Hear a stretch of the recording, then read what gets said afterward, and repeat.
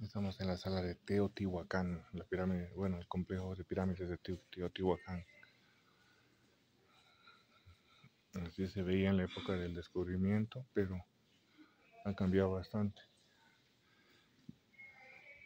Yo fui a la pirámide, ahí están mis videos en YouTube si los quieren ver. Así se veía en el interior. Miren qué belleza esta escultura, tan finamente elaborada. Están las serpientes emplumadas. Una maravilla gigante, son gigantescas. ¿eh? Y estaban pintadas.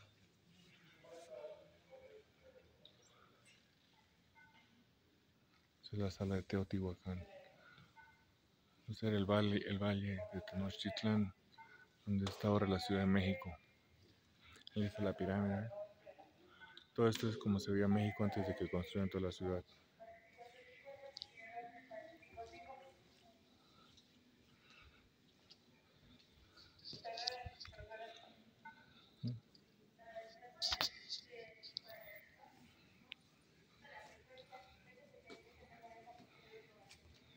Todo esto encontraron allá en las excavaciones de, de Teotihuacán, las pirámides, obsidiana. Lo difícil que es trabajar esta piedra. Aquí serían, estos son los instrumentos de un artista, un pintor, ¿eh? pintura mural. Y ahí pone los diferentes colorantes.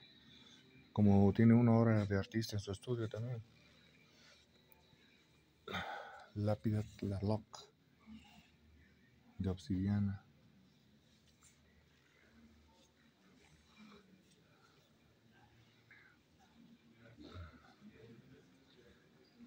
Cerámica impresionante.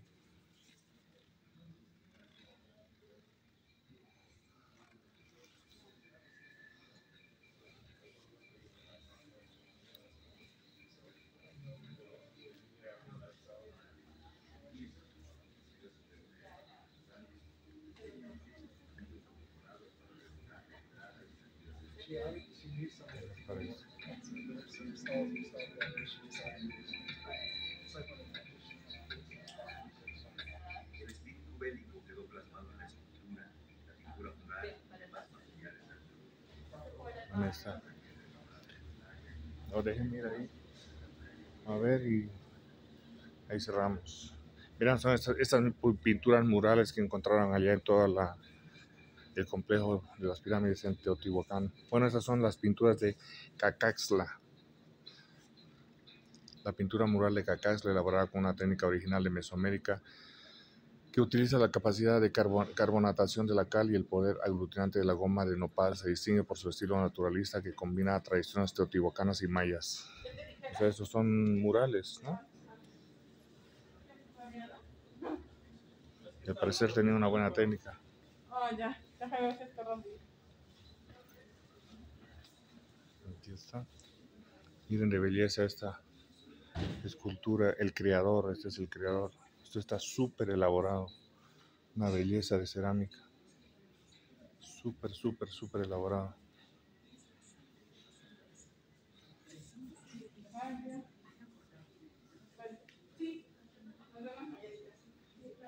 Qué belleza.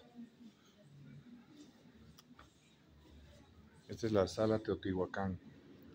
Estas son las estelas de Xochicalco. Las estelas de Xochicalco fueron recuperadas en la Cámara de ofrenda de la estructura A. Las interpretaciones que ellas se han realizado versan sobre sucesos históricos y míticos. Se encuentran labradas por sus cuatro caras y tienen representaciones de diferentes deidades, numerales y, glifos alusivos a fechas calendáricas. Hay, una, hay un chacmol ahí, que es eh, la deidad que recibía las ofrendas a los dioses.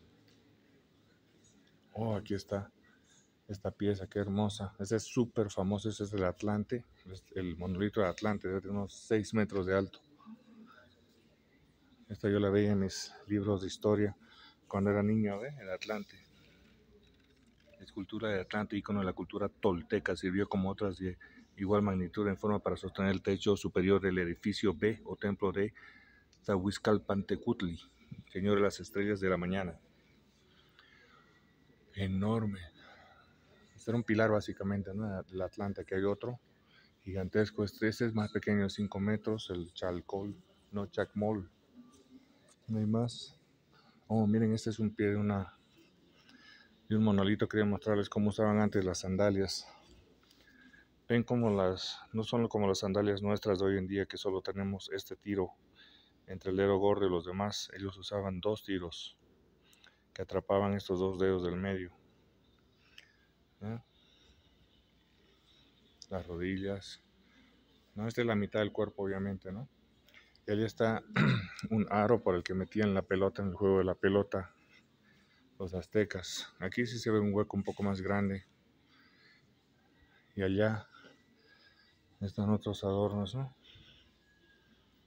La bola con la que jugaban era más o menos de este tamaño, pero esta es una vasija obviamente, pero imagínense una bola de hule que ellos tenían que pasar por ese aro, ¿no? Bueno, cierro. Ahora es viernes 20 de enero del 2023. Aquí está el Chacmol otra vez.